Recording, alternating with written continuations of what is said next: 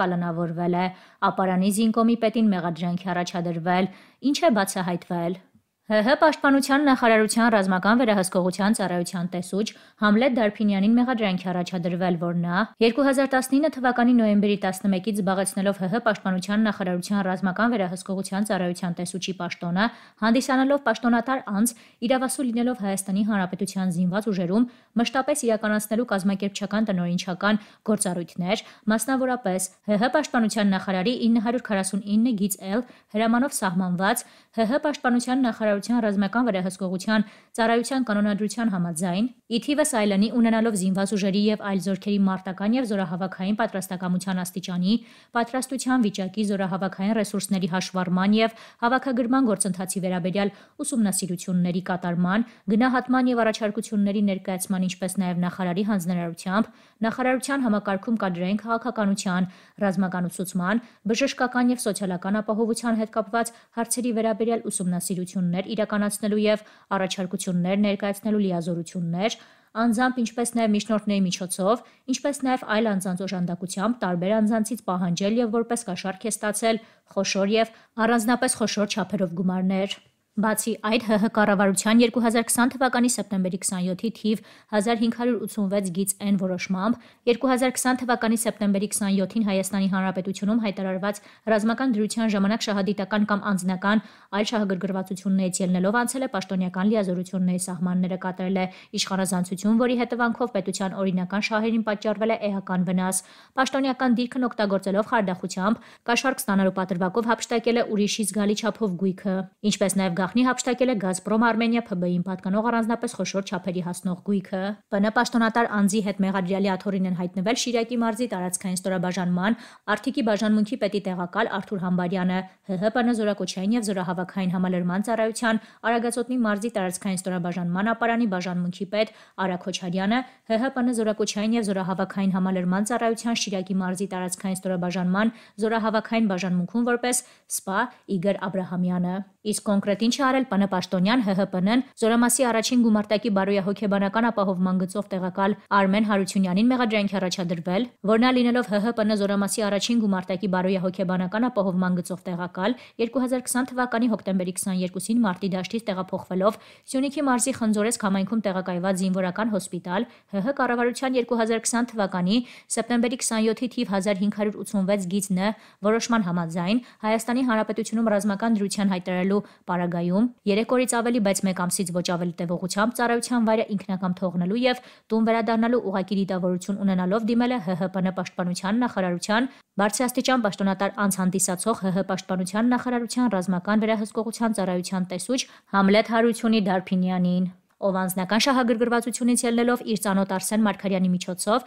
2020 թվականի հոկտեմբերի 22-ին կազմակերպել է Արմեն Հարությունյանի Խնձորես համայնքի զինվորական հոսպիտալից առանց թույլտվության ծառայության վայրը ինքնակամ թողնելը եւ տուն վերադարձը, որից հետո 2020 թվականի հոկտեմբերի 26-ին Արմեն Հարությունյանին զորամասը ինքնակամ թողածների ցուցակից հանելու համար Համլետ Դարփինյանը վերջինից պահանջել է խոշոր չափի 300 հազար ՀՀ դրամ գումար, որպիսի առաջարկն ընդունվել է Արմեն Հարությունյանի կողմից, սակայն Արմեն Հարությունյանը Համլետ Դարփինյանը Հարությունյանին չի տվել նշված գումարը եւ 4 օր առանց թույլտվության ծառայության վայրը ինքնակամ լքելուց հետո 2020 թվականի հոկտեմբերի 26-ին վերադարձել է ծառայության վայր։ Վերոնշյալ անձանց հետ մեղադրյալի աթոռին են հայտնվել եւս 5 անձ։ Բոլոր Նիկոլ անիծողներին եմ դիմում, հերիք է ձեզ էշի տեղ դնեք։ Նարին Փայլակյանի ուշագրավ գրառումը։ Facebook-յան օգտատեր Նարին Փայլակյանն իր էջում գրել է. Բոլոր Նիկոլ անիծողներին եմ դիմում, հերիք է ձեզ էշի տեղ դնեք, իբր նոր խնդիրներ են երկրի գլխին կախվել։ Սրանք այն խնդիրներն են, որ 30 տարի չլուծվեց, որովհետև երկիրը անտեր էր, որովհետև երկրի մասին մտածող ղեկավար չունեինք։ Տկլոր բառից բուն իմաստով տկլոր քաղաքականության արդյունքն է։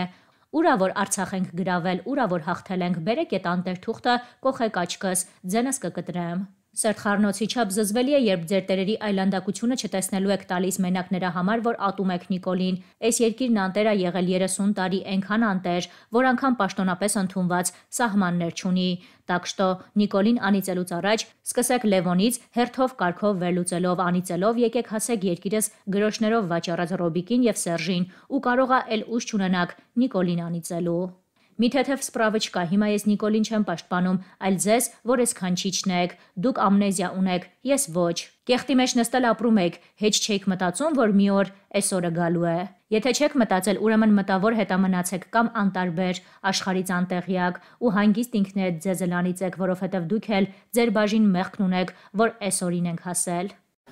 Հարգելի պարոն վարչապետ, Ադրբեջանի ղեկավարությունը Հայաստանին առաջարկում է կնքել խաղաղության համաձայնագիր։ Որն է մեր պատասխանը։ Ինչ ենք մտածում այս հարցի շուրջ։ Կխնդրեի ձեր դիրքորոշումը ներկայացնել։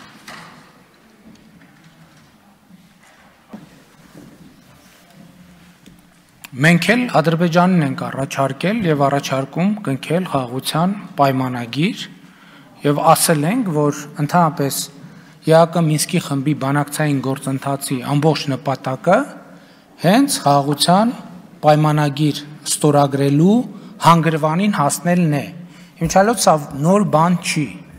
Ուզում եմ ասել, որ մինչև այսօր էլ մեզնից առաջ էլ գոյություն ունեցած բոլոր բանակցային փաթեթներում, բոլոր բանակցային բովանդակություններում Բանակցային գործընթացի նպատակը խաղաղության պայմանագրի կնքումն է։ Եվ ինձ համար տարօրինակ է, որ Ադրբեջանից անընդհատ ասում են, որ իրանք անընդհատ Հայաստանին առաջարկում են, որ խաղաղության պայմանագիր ստորագրվի, իսկ Հայաստանից արձագանք չկա։ Հայաստանից ոչ միայն արձագանք կա, մենք տասնյակ անգամ այդ մասին խոսել ենք եւ դա այնպես չի, որ Ադրբեջանի նախաձեռնությունն է, երբ որ մենք խոսում ենք բանակցային գործընթացը լիարժեք վերականգնելու եւ երբ որ մենք ներգրաված ենք բանակցային գործընթացի մեջ, մեր նպատակը խաղաղության պայմանագրի ստորագրումն է։ Խաղաղության պայմանագրի ստորագրմանը պետք է նախորդի խաղաղության պայմանագրի տեքստի համաձայնեցումը։ Դա բավականին ծավալուն աշխատանք է եւ մենք երբեք չենք հրաժարվել այդ աշխատանքը կատարելուց եւ միշտ էլ ընդհակառակը պատրաստակամություն ենք հայտնել եւ դա համարում ենք մեր օրակարգը նաեւ արձագանք Շնորհակալ եմ, պարոն վարչապետ, մի լրացուցիչ հարցել։ Այսօր Բայրամովը թուրքական Անադոլու լրատվական գործակալությանը տված հարցազրույցում ասել է հետևյալը. անհրաժեշտ է լուծել սահմանազատման խնդիրը, ստեղծել համատեղ հանձնաժողով եւ սկսել սահմանազատման գործընթացը միջազգայինորեն ճանաչված սահմանների հարգման սկզբունքով։ Եվ այս գործընթացի մեկնարկով սահմանին լարվածությունը կթուլանա։ Խնդրում եմ նաև այս հատվածը մեկնաբանել։ Դեստեյության նախորդ հարցերնի պատասխան ես արդեն անդրադարձա